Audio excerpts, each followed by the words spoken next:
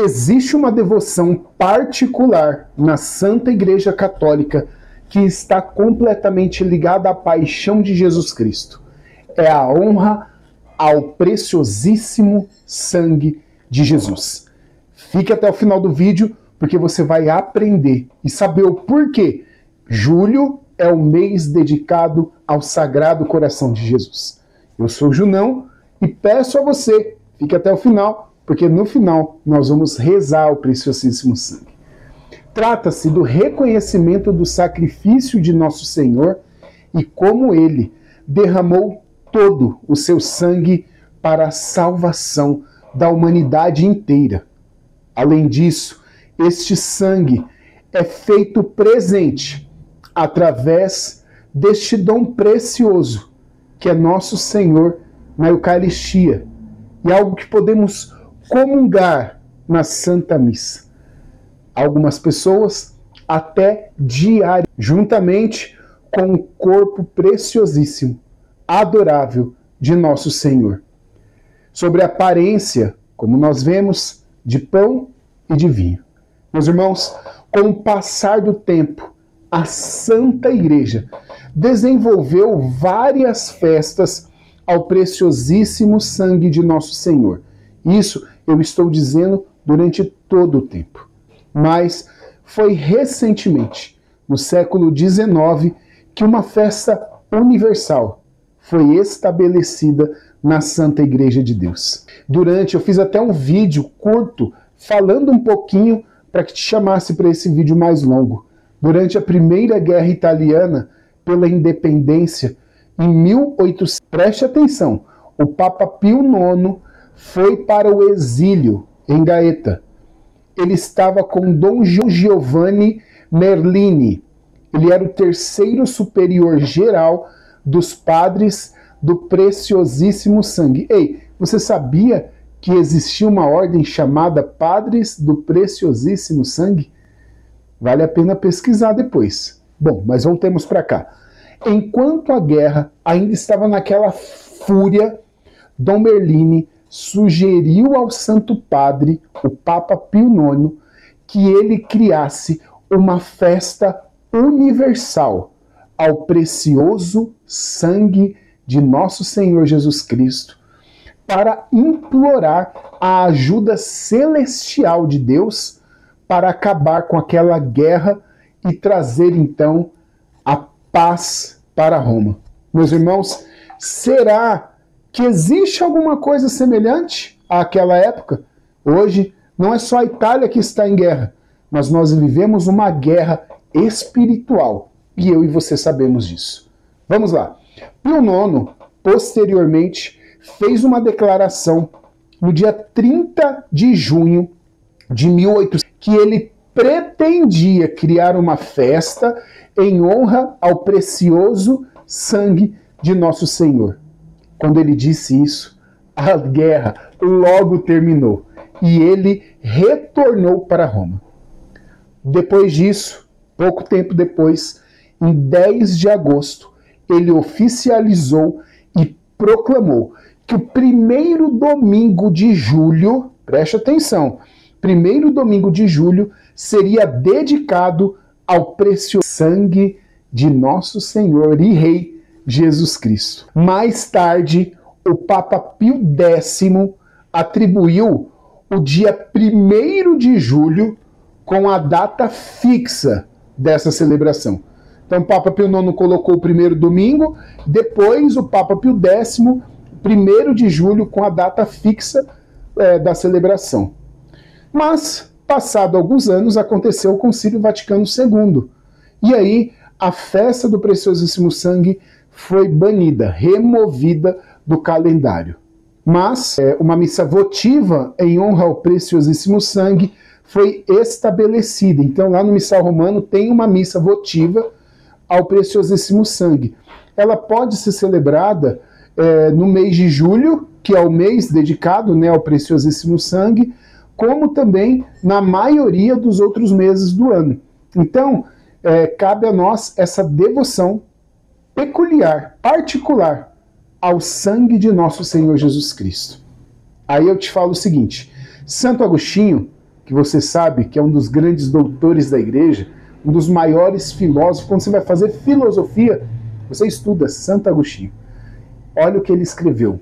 Abre aspas. O preciosíssimo sangue, é, o preciosíssimo sangue jorra de misericórdia infinita, dissolva os pecados do mundo.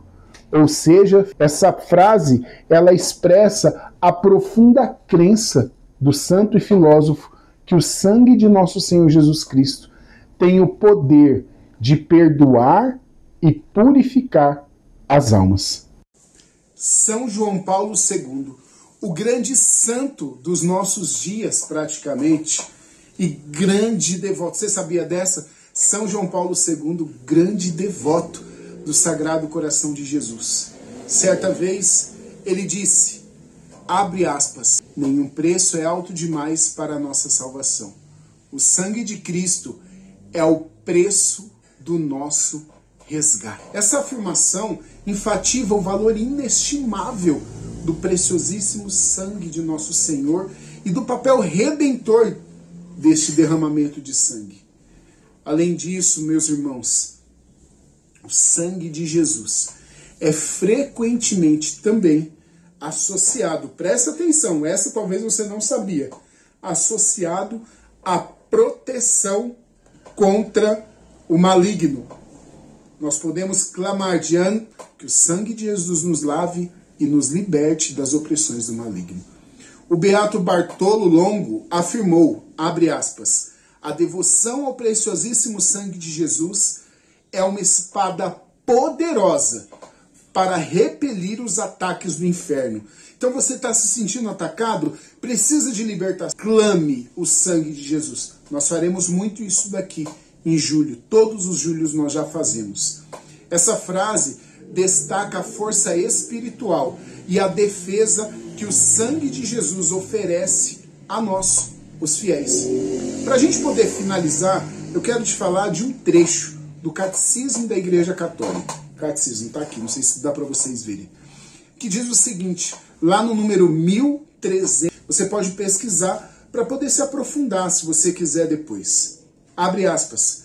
O sacrifício de Cristo e o sacrifício da Eucaristia são um único sacrifício. É por essa razão que a Eucaristia é celebrada com grande amor, veneração adoração. O sacrifício da cruz é o mesmo sacrifício da Eucaristia. São Francisco de Assis exortava os seus frades a terem a maior reverência possível, a maior de todas, em relação ao Santíssimo Sacramento, no qual o preciosíssimo sangue de Jesus, preste atenção, o preciosíssimo sangue de Jesus é presente.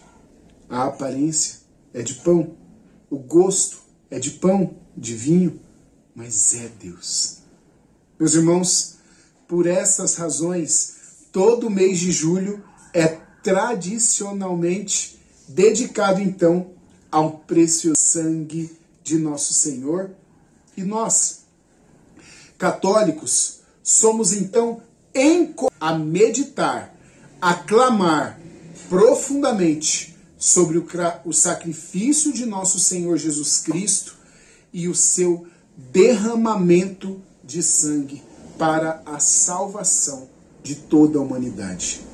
Aquele sacrifício e derramamento de sangue cruento, com derramamento de sangue, e aquele incruento. O que, que é incruento?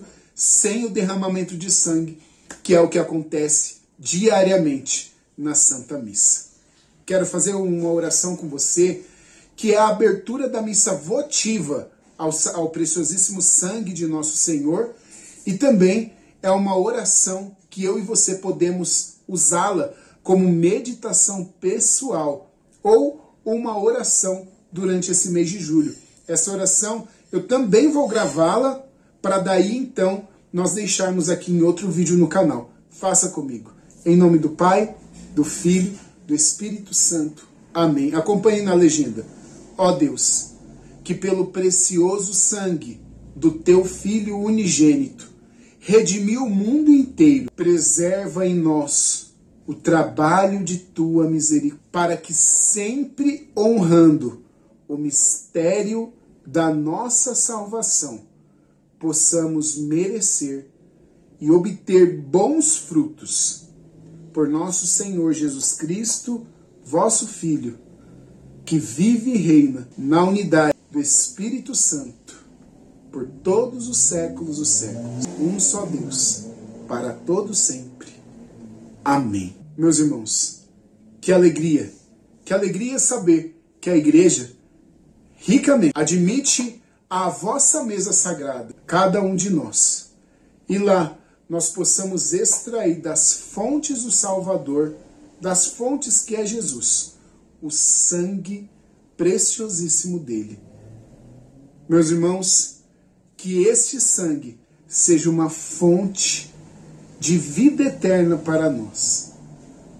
Meus irmãos, não deixe de clamar neste mês de julho, esse mês que começa agora. Se você está vendo esse vídeo assim que eu estou gravando, que você clame sempre o sangue de Jesus sobre a sua vida, o preciosíssimo sangue de nosso Senhor. Compartilhe esse vídeo para que mais pessoas saibam dessa devoção.